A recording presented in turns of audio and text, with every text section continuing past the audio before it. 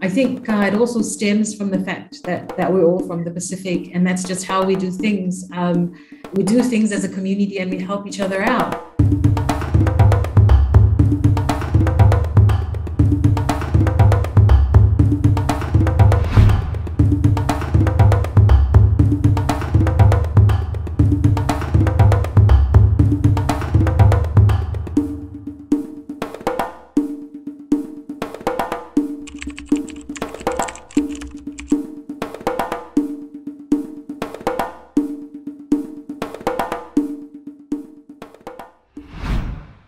My name is Christian Gerg and I work for GIZ. Well, my name is Vanda Faswachensi. My name is Rebecca Elden. I'm with GIZ from the NDC Hub. My name is Amit Singh and I work for Pacific Community. So my name is uh, Anne-Claire Goarant. I'm working for SPC and for the NDC Hub. My name is Shanila Sanyog and I'm from the Global Green Growth Institute. My name is Noimuddin. I'm from the Global Green Growth Institute. My name is Priya Chand and I work for GIZ. My name is Maria Rona Luna Pastorizo Sekiguchi and I am with the Greenhouse Studio.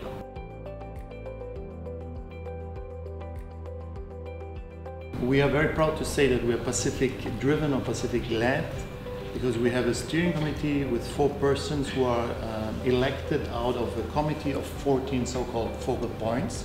And these focal points are responsible persons in their national ministries who deal with climate change in the 14 Pacific Island countries we are working for and we're working with.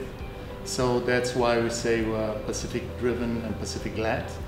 And uh, the second thing, if I may add, uh, is that we are demand driven. That's the second claim we're very proud of, because we gave those 14 countries uh, twice the chance to hand in um, their requests for, for, for technical assistance all around their nationally determined contributions, their NDCs or their climate plans, if you want. They send in their requests and um, and those requests, if I may add, we, we, realized in these uh, years we have been working, they can be clustered around four major topics. So one is all around legislation, policy, developing those plans, um, enhancing those plans at a very high policy level. A second uh, cluster, if you want, is all about uh, capacity building, building up the capacities of the ministries working on these national plans in order to fulfill the commitments these countries made in the Paris Agreement. And a third cluster is about NDC implementation, so implementing those plans. They ask us for technical assistance in the implementation of parts, of course, only of those plans. And last but not least, there is a, a, a cluster all around monitoring, reporting, verifying data because the countries committed in this Paris Agreement to um, uh, uh, uh, to do it science-based and based on data which is uh, verifiable. And that is uh, quite a technical feat to, to, to manage that. So that's the fourth type of, of request they, they hand in and once we receive the request we, we are um, very lucky to have uh, four very strong organizations with different strength we have a look at those requests we worked on 36 we're still working on some of them in these first two phases and then we see who of these partners can best cater for that. Mm. And we choose that partner, and that partner takes it up, goes to the focal point, speaks with them, does the scoping, timelines, and delivers. Mm, yes. So, so just to build up on that, um, I often feel that that is the NDC Hub's superpower. We are demand driven. Mm-hmm. Um, and we are Pacific led. Mm-hmm. Um, and I think it's also very much in line with the SDGs. So, mm-hmm. in particular, goal 17, where we talk about the global partnerships uh, for sustainable development, and that basically talks about the multi stakeholder partnerships that we make, um, where we share expertise, um, funding. Um, and so in our case, that's exactly what we're doing. So at the international level, we've got international financial partners, our donors, uh, Germany, Australia, New Zealand, and then we've got our four uh, regional uh, development partners mm-hmm. who are leading in the Pacific. So we have that structure in place. What impact or what benefit do you think that that brings, um, not just to the region but to the NDC hub itself? I think the strength for us is actually we're located in the Pacific, even though we are four different partners from uh, various uh, focusing on the various agendas, but uh, I think we're focusing on a common goal and we're doing it uh, with, the, with the country focal points and I think that's where the strengths are in offering our services to them. So we are not leaving our knowledge uh, behind here, we're here and we'll be here because we have a 10 year strategy. So knowledge sharing is one of the key aspects of this partnership. As uh, Christian has mentioned and as uh, Noem has mentioned, I think I, will, I just want to add that, you know, uh, with this multi partner platform, we are building on the expertise that is already exist, existing in each of the partners and within the organization also. So if you look at, for example, uh, for SPC, the projects we, we have uh, done, we have always engaged, uh, you know, the technical expertise within the organization uh, at first and, and try to build it to, to support our countries um, with their request. So I think uh, I think it's, it's, it's really important to mention that then we are using this existing expertise within the four partners, building on that, and then within the organization as well. And that has brought out this unique way of, you know, uh, assisting countries with whatever existing expertise we have at their, um, yeah, amongst the partners. Yeah. Vanda, um, any thoughts? Yes, um, thank you, colleagues, for um, those uh, remarks.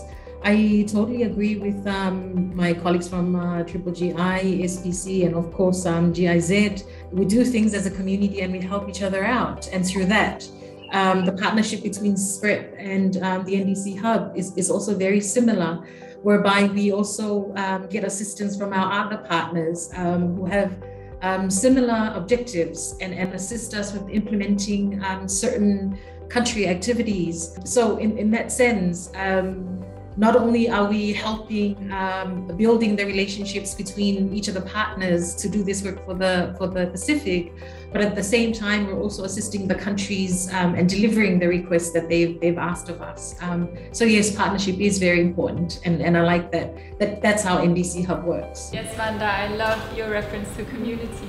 Yes. Um, well, maybe in that regard, to kind of expand the reference to community, um, we we partner kind of externally with the UNDP and IRENA. IRENA is the International Renewable Energy Agency.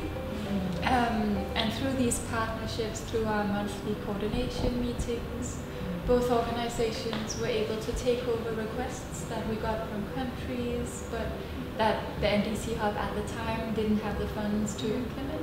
So we were able to, through these partnerships, hand them over to the UNDP and IRENA who then ensured that Pacific Island countries still got this support that they were asking for. But of course, we work in contribution to the NDC partnership, yes. mm-hmm. um, who, which is a global organization supporting NDC um, implementation in, in all countries. So it's always that's another really valuable partnership. I definitely agree that you know we have this, uh, like you mentioned, the, the spirit of partnership, you know, community, like you mentioned, Priya. I think that is what makes the NDC Hub very unique in because you know we're four different partners we're four different players in the region but we all have the same mandate to service the pacific island countries you know and i think that is what is the core of our very being in the pacific. We are tied by that uh, similar objective and mandate to support uh, um, our countries, you know, uh, with their climate ambition, climate action plans, and you know, be global leaders in climate action, essentially why the NDC Hub I feel like is very unique in that sense also is because we have that country ownership.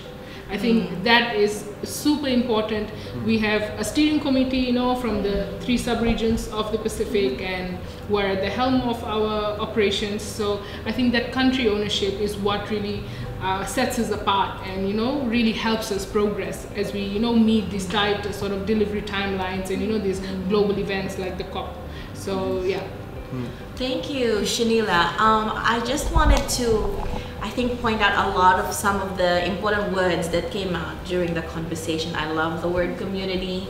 I love the word um, partnership. You also talk about the spirit of community, the spirit of partnership. And I think um, at the heart of the structure of the hub. This is, you know, what it's all about. Um, it sounds like an incredibly synergistic approach. Mm-hmm. You know, wherein you're harnessing the strengths of already what's there with all of the different partner organizations that have been serving the Pacific Island countries, already have trust and credibility among the different countries, and then putting more strength behind, you know, everyone.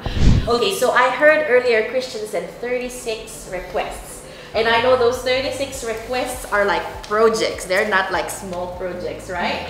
I just wanted to find out this started, I mean, you started getting the requests when the pandemic essentially started. How did you handle, you know, working together, you know, in the hub, in the midst of COVID-19? One thing that, that struck me immediately uh, is that, for instance, my my bilateral talks with, with my colleagues have uh, changed during that time because most of the time we were talking about how to keep the balance, uh, the mental health, how to cope with uh, working in small spaces with uh, plenty of kids who are not uh, in schools.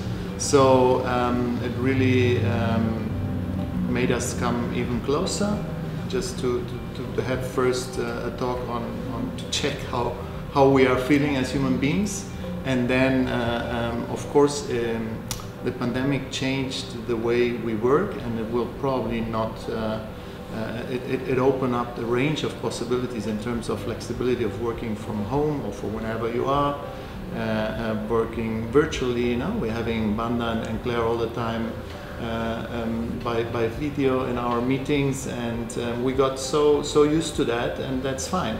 Of course, now that some of us could come back to the office, we see um, how, how, how enriching that is and how much uh, that brings with.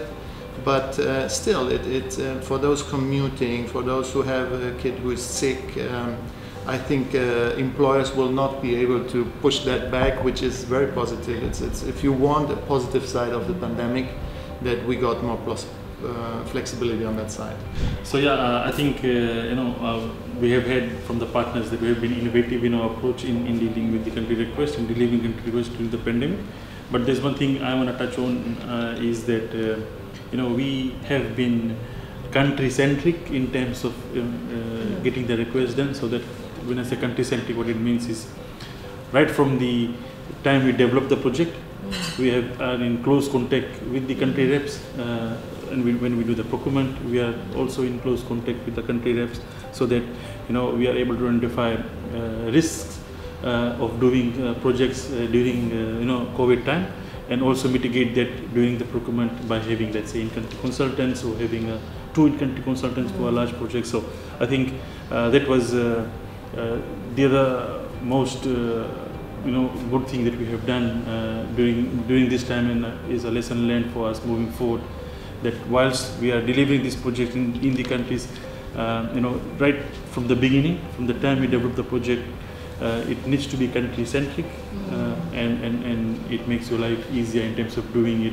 remotely. You can also see Anne Claire and Vanda there who I feel might want to share their own experiences. Did you do a lot of uh, hybrid sessions with the team here because uh, you could meet in person? How was your experience like, Anne Claire?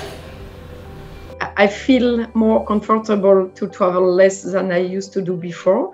And I think it's uh, much more aligned with uh, the climate change commitment of the Pacific. Now I'm thinking, you know, Vanda, for you, lockdowns were not such an, an issue a year ago, but for now it is. How, how has been your experience so far? I think um, uh, lockdowns um, have gone to show the ability of us as human beings to adapt but also to overcome any challenges. Um, so yes, you know they keep saying uh, we are a resilient uh, group of people in the Pacific, um, and and we're able to overcome any obstacles. And I think you can see now that uh, a lot of the countries around the region, including Samoa, um, experiencing a number of lockdowns because of that. But at the same time, um, we're always uh, finding ways, always finding um, solutions to problems that may arise. Um, the other point also uh, is the leader leadership. I think with any organization and with any group of people, leadership is very important, and that plays a part as well um, in in how you know in in in the I guess in in the success of anything. And, and so in, in that sense, I acknowledge um, um, Christian, but also Frida, who was there before, in leading the NDC hub and, and being able to deliver the uh, not just the requests of the countries, but making it a, a, success and making a name for NDC Hub in the Pacific. Because the donors are flexible, given the COVID 19 uh, lockdowns, and, and of course, you know, the non traveling um, from, from all, all the partners and the focal points, the donors have been very understanding and very patient. And uh, finally, I, I want to acknowledge the team that that for me that's also played a huge part in the success of the NDC Hub is the team, uh, how all of us donors have been able to come together and work together as one team. Because at the end of the day, we know we're doing this for our people. We know we're doing this for our children. Come 10, 20, 30 years, some of us may not be here, but at least the, the work that we're doing now will have some impact and and improve the lives of our kids down the down the track.